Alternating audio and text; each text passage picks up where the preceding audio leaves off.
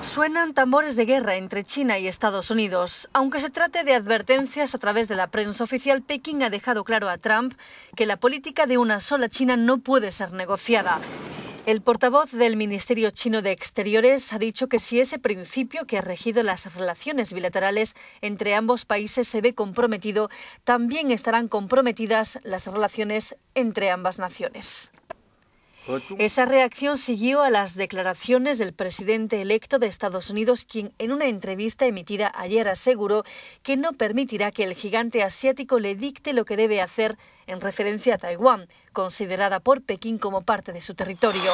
Una provocación que puede tener otra lectura si tenemos en cuenta que la persona elegida para ser el próximo embajador estadounidense en Pekín, el gobernador de Iowa, Terry Branstad, es considerado un aliado de la élite gobernante china.